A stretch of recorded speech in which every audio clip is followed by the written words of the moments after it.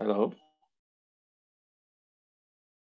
Okay, uh, thank you, Ravin. I hope you can hear me uh, and everything looks okay. So yes, uh, it's a great pleasure and honor to wish you happy birthday, Ravin, and uh, many more successful years of uh, all the different types of work you've done. Uh, I want to begin by actually recalling a very famous work by you uh, in this paper with Patrick Lee uh, of uh, spins. Uh, this was modeling semiconductors in random positions with an exchange that decays exponentially between them. Uh, and by an RG analysis uh, of this type of model, what you what Ravin found was the, a strong disorder fixed point where the spins freeze into singlets in a hierarchical manner and this is now what's called the random singlet phase. So it was my good fortune when I became a postdoc at Bell Labs to, to learn about this work and uh, extend it uh, in some directions. Uh, and I learned a lot about the very interesting interplay between disorder and interactions uh, while we were doing this. Also, you will notice this is in 1986, uh, just before the cuprates were discovered. So this is very fortunate because uh, uh, this kind of knowledge of spin systems was just what was needed uh, to, to work on the cuprates. So of course, once that happened, I jumped on, on the, studying the cuprates. Um, and so this model uh, here is actually not so far from uh, the model in, in the SY paper of the SYK model uh, in 1993. Uh, it's the same spin dot spin interactions, but now the Jij are just independent random numbers. So the, now the spins are in some uh, cluster and every spin is coupled to every other spin. And what we found in this uh, paper was a very different type of ground state from the, the one that Ravin had found. Uh, and one fundamental difference is that the disorder self-averages. So here, uh, in fact, uh, you know, you don't flow to a strong disorder fixed point. Effectively, you flow to a zero disorder fixed point where the disorder doesn't matter at all.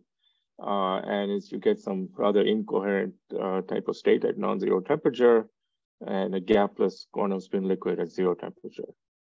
So in this case, if you look at the spin autocorrelation function, uh, decays as one over time. Uh, and uh, this is the same on every site. So this constant C is independent of I, even in a given sample. And that's very, very different from uh, the random singlet phase uh, that uh, uh, Ravin had studied. So, so this is, of course, a rather artificial model with spins coupled and all to all. Um, but we were pretty excited by this result uh, because the Fourier transform of this uh, is what's now called the marginal spectrum. Uh, and stated here, one might hope that the mathematical structure of the mean field theory is of broader significance. Uh, and that's exactly the hope that uh, we think we're starting to realize today after many years of work. to put the physics of this kind of gapless quantum spin liquid into a realistic model and hopefully describe the strange metal. Uh, and so you will notice the, you know, the physics here is very, very different from localization, where you effectively flow to an infinite disorder fixed point. Uh, here, because of strong interactions uh, and strong entanglement, uh, the disorder just self-averages, and uh, and you get, in some ways, a much simpler theory, uh, which you can uh, make uh, progress with. Okay, so the actual theory that uh, will be the, you know, it's taken many years of work from uh, uh from 1993, many uh, stops and starts to try to make that physics more realistic. And I think the greatest progress has come in very rapidly in recent years uh, by this model, which people are calling the Yukawa SYK model, where you have some fermion, in this case taken dispersionless, um, and bosons with the same frequency, to some oscillators, and they're coupled in this Yukawa manner with a Yukawa coupling GIJL. Uh, and in this case, you take this coupling GIJL uh, to be independent random numbers with zero mean uh, and some mean square value G squared.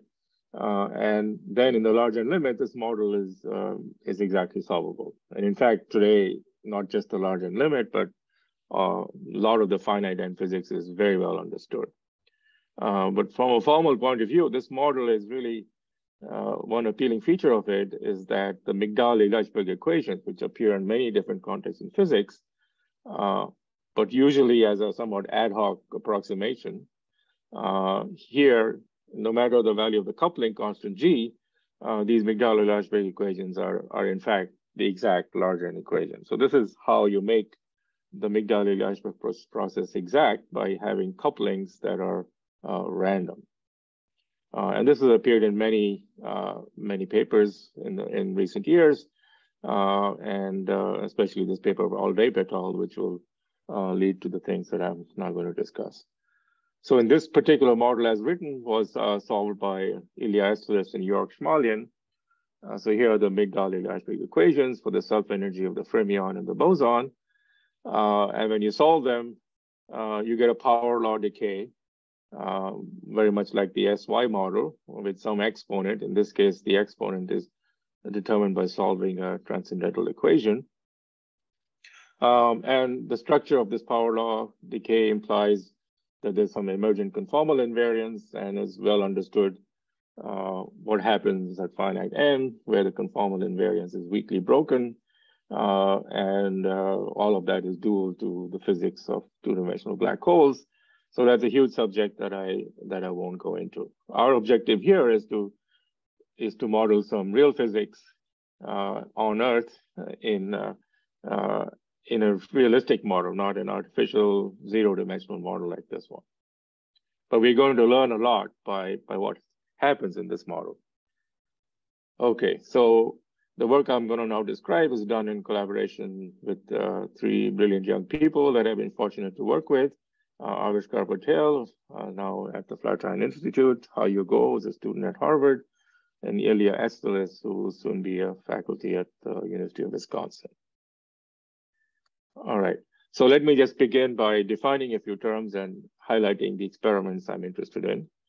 So we all know the strange metal, most famously uh, in the cuprates above the superconducting phase, but it's found in numerous other materials uh, including uh, twisted bilayer graphene most recently, uh, uh, the pnictides, and, and many heavy fermion compounds. So despite its widespread uh, identification, there's a remarkable universality in the properties of a strange metal as measured in transport, as emphasized this paper by Sean and uh, Sean Hartnoll and Andy Mackenzie recently. First of all, famously, the resistance is linear in temperature at very low temperatures. And the resistivity is smaller than the Mott-Ioffe-Regel value. If it was bigger, we'd call that a bad metal, which is not what I'm talking about. The specific heat goes as T log T, uh, and the optical conductivity has a real part that decays as 1 over omega, or 1 over temperature, whichever is largest, uh, given by the scaling function. And this effective mass here, which is not the effective mass of the quasi-particles, but something you would measure in the conductivity, uh, is uh, has a log divergence. And all of this, you know, fits a wide variety of data, this very universal structure. Uh, and I'm going to present a theory which actually reproduces all of these features. Uh, so how do we begin a theory? So one simple example is imagine we're near some quantum critical point. And the simplest quantum critical point would be, say, a, a nematic criticality where you go from a, uh, a tetrahedral symmetry to orthorhombic symmetry uh, with an Ising order parameter, which we call phi. Uh, then there's a quantum critical region, and you can now ask, perhaps this region where you're influenced by this quantum critical point is some sort of a strange metal. Uh, okay, so now this particular critical point has been studied in some detail over the last two decades. So you take a Fermi surface of a fermion psi coupled to some critical bosonic order parameter uh, with a Yukawa coupling G, okay. Uh, and I think the earliest person to notice that this leads to, or a model like this leads to uh, breakdown of quasi-particles was Patrick Lee, uh, where he showed that the self-energy had this uh, very small power omega, omega to the two thirds, uh, and this uh, led to a very short uh, particle lifetime, in fact, shorter than its energy. So the idea of a quasi-particle broke down. The boson propagator D has this Landau damping form, which is crucial to this two-third exponent. Okay, so that's exciting. I mean, maybe this, this could explain some of the experiments. Uh, but as has become clear over the years, uh, when you start looking at transport, this particular theory uh, is not strange at all. In, in, fact, it's a perfect metal uh, because of conservation of momentum and strong fermion boson drag, which was overlooked in many of the uh, earlier and not so early papers. And the conductivity is actually just pure Drude-like in this continuum theory you have to put umklapp or disorder to get anything different from a pure delta function. So, so the answer is that this thing is a non-Fermi liquid as far as the excitations of the Fermi surface are concerned, uh, but not a strange metal because the transport looks nothing like uh, what's seen in the experiments. Uh, so this gives me an opportunity to make some definitions. So I just give you an example of a non-Fermi liquid where the one electron scattering time, tau, this should be distinguished from the time in the transport. Uh, one over tau is much bigger than epsilon, whereas in a Fermi liquid, it's much smaller than epsilon.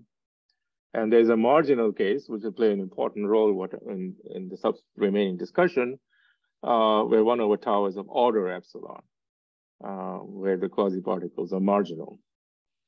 Okay, so this is defined by single particle property. This is when I say a non-Fermi liquid, this is what I mean. When I say a strange metal, well, I mean something that has linear resistivity and all the other properties are defined. And those are not equivalent definitions as we'll see. Okay, so what I've shown you is that if I take a Fermi surface coupled to a critical boson with no disorder at all, uh, it's a non-Fermi liquid, but not a strange metal. All right, so we have to add some disorder. That's really the direction that's necessary. And this is, you know, this has been known for a while and many people have tried, and including me and uh, Avishkar and others. Uh, and after many years of trying, I think we are now closing in on the, the best way to do it and how to get something that uh, actually is most realistic and also tractable. Uh, so we're going to, it'll turn out we have to add two types of disorder there's a potential disorder, which is the usual disorder uh, that's in the theory of uh, localization or uh, disordered Fermi liquids, that's V. But here we also have to consider disorder in the Yukawa coupling, uh, which I'll call G prime. So first, let's add potential disorder. So if I take this theory of a non-Fermi liquid, uh, the first two lines, and add some random potential disorder. Um, and uh, so V of R is spatially random and has a, a mean square value uh, uh, V. So this was also uh, presented in a talk in the first day of the conference. Uh, and what you find now is that this, the Landau damping form of the boson self-energy is mod omega, not mod omega over Q. So this has a dynamic exponent Z equals two. And if you are following the same methods as in Patrick Lee's paper, if you compute the electron's fermion self-energy, you get the usual Drude scattering rate proportional to V squared. And you get this marginal Fermi liquid correction, uh, omega log omega, which implies that the electron scattering rate is of order energy. So this is exciting. You've got a marginal Fermi liquid self-energy and therefore a T log T specific heat. Uh, and so maybe we are onto something. Uh, so this result has actually been known for a while, in, including in the Halperin Lee Read paper uh, in a slightly different context. But if you now compute the transport, uh, you find uh, something very different. So there's this g squared log term here, omega log omega in the marginal self-energy. Uh, so you would like that to appear in the transport scattering time because that will give you a linear and temperature resistivity. Uh, but you find that does not happen. There's an exact cancellation, again, due to momentum conservation. If there's time, I'll say a little bit more about that in the end of my talk. Uh, but it's this nothing has to this doesn't have anything to do with the one minus cos theta factor that you're familiar with between tau and tau transport. This is really the physics of drag. Um, and the inelastic processes conserve total momentum and therefore don't lead to any transport resistivity. So the resistivity is just like a Fermi liquid with the, with the residual resistivity uh, proportional to the inverse of the scattering potential. That's just the usual uh, solid state physics 101 answer. So, so therefore I can add one more entry into this thing. If you take a Fermi surface coupled to critical boson and we add potential disorder V, which is what we always do in the entire theory of localization, uh, here it leads to a marginal Fermi liquid, uh, but it's not a strange metal. So it's important not to uh, assume that the two are equivalent to each other. Okay, so finally, uh, our main result has to do with spatially random interactions. So why would you want to add spatially random interactions? Well, first of all, there's a huge amount of experimental evidence that interactions are very random. Here's one paper where you see that the gap, even at optimal doping, uh, has a, a, spread in value which is off, you know, order the mean. So uh, on on uh, on a nanoscale. So there's definitely some interaction that's varying rapidly from point to point. Uh, and it's easy to understand why. Uh, if you have some randomness in hopping Tij, that will lead to random interaction, exchange interaction, J squared over U. So suppose this type of interaction is just driving some instability. So you have some J, which is a, a function of R, and there's various, uh, there's the center of mass coordinate and various form factors have been omitted. So I can decouple this interaction by Hubbard-Stratonovich transformation to phi squared over 2j of r minus phi psi dagger psi. And in this form, it looks like a mass term for phi, uh, which is spatially variant. So if you, you know, pull out your RG hat and just look at the scaling dimension of this mass term, you find it strongly relevant. And, you know, this has been known for a while. And so you say, well, as in the usual localization theory, something's flowing to infinity. I don't know what to do uh, maybe you're going to flow to a strong disorder fixed point. Uh, but the hypothesis is, in fact, you don't. Uh, and one way to treat this mass is actually use the fact that there is no bare term in phi and just rescale phi. So if I rescale phi, I can transfer the randomness in the mass to the randomness in the coupling. And once you do this, uh, then it turns out to be very tractable. Uh, and in fact, you get a random Yukawa coupling, much like in the Yukawa SYK model. Uh, and, and that we can now treat. So therefore, the model we want to consider now, in addition to the potential disorder I described, has a G, which is the uh, usual Yukawa coupling that everyone uses, but uh, add another term G prime, uh, which is has zero mean and mean square value g prime square. Now you go ahead and turn the crank, uh, and I'll say a little bit more about the crank uh, at the very end of my talk. Uh, and what happens?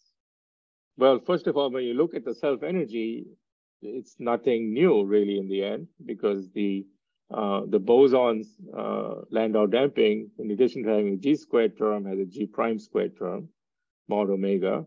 And so it's the usual uh, diffusive boson. And the self energy, therefore, also has an omega log omega contribution, one from the random V and the other from the random G prime. So far, it hasn't given anything new. But when you compute the transport, uh, you get, the, this is the key result of our analysis.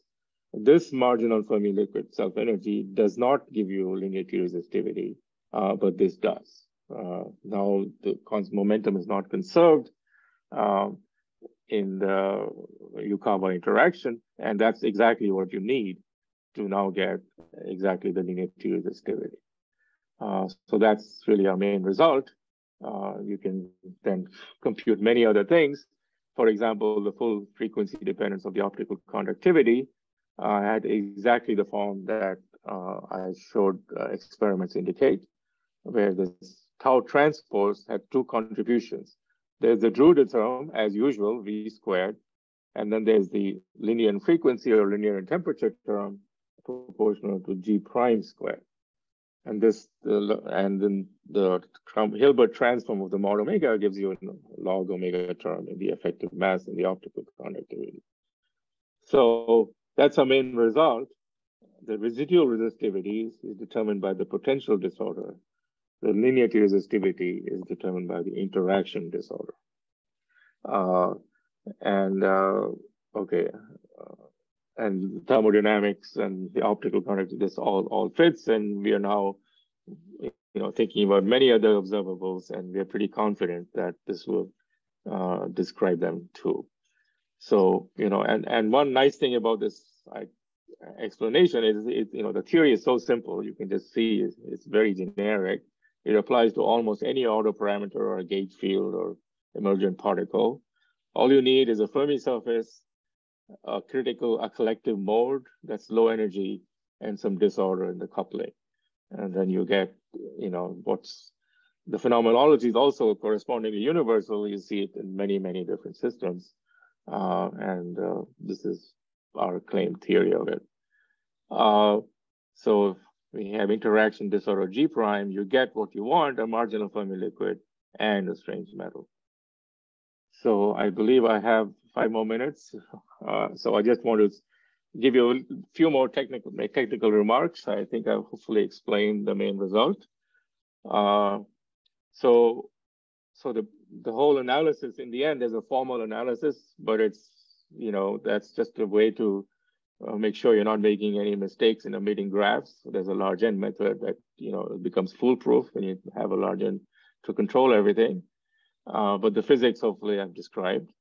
So, so here's the theory. Uh, what you do is you give everything some index, uh, the fermions and the boson that has n values. And then all couplings, the G, the G prime, and the V also have uh, random values in, in flavor space. So the usual Yukawa coupling has only randomness in flavor space, uh, and that doesn't give you any resistivity at all. So this term would give you a perfect metal. Uh, but the, the, the flavor resistivity here is also a random function of R. So the correlator of this has a delta function of R. Uh, and similarly, V is the usual thing that we're familiar with. Uh, anyway, you take this theory um, and you uh, average over uh, all the couplings, uh, average over this disorder, uh, and take the larger limit. In fact, when you average over disorder, you get, let me write down for you the universal theory. It's a path integral over bilocal Green's function uh, with a bilocal action. And here it is. The coupling constants are g squared, v squared, and g prime squared. Uh, and there's some dispersion, but you can take any form you want. Uh, and really, this is the theory you have to now work out. Uh, at the moment, we've only worked it out in the large n limit. All the results I showed you came from the large n saddle point or its response to external perturbations. In particular, for the transport, this generates you know, something very familiar. People knew these were the right diagrams look at, the Maki-Thompson and the Aslamazov-Larkin diagrams. Uh, so in the end, really all we have done is evaluate those diagrams a little more carefully than they were evaluated in the past. Uh, but in principle, one could also go beyond the large n limit by studying this, and I hopefully there'll be work on that in the near future. Uh, let me finally mention what did I mean by uh, an important ingredient in the whole transport calculation is the idea of drag. So what is the idea of drag? Well, usually when you do electron phonon scattering, you have something called Bloch's law uh, that gives you resistivity, say in three dimension of t to the fifth. But Bloch's law is incorrect, as Peierls pointed out, uh, because it ignores the conservation total momentum. Uh, and the, eventually phonons give the momentum back to the electrons. So the resistivity in, at low temperatures that is actually zero in the electron phonon system. But because no crystal is perfect, uh, Bloch's law works. And one of the reasons perhaps it took so long to figure all this out for the strange metal is that Bloch's law was really too successful. People forgot that, you know, what really was required uh, for it to work. So the point is that in a non-Fermi liquid, Bloch's uh, uh, procedure makes no sense because in a non-Fermi liquid, it's, it's not as if the fermions and bosons are separate excitations. They're both entangled with each other. They don't even exist, the fermion and the boson. There's just a quantum critical soup and really should talk, well, the only thing we can talk about is the total momentum. Uh, and that's why we have to worry about drag and that this large N calculation does that automatically. Okay, so I think I'll stop right there. And these are the, uh, the results. Uh, I guess I have a few more statements about what is SYK uh, and the universal TFM margin Fermi liquid. Again, I want to thank my three brilliant collaborators and also point you to this article in Reviews of Modern Physics. Thanks very much.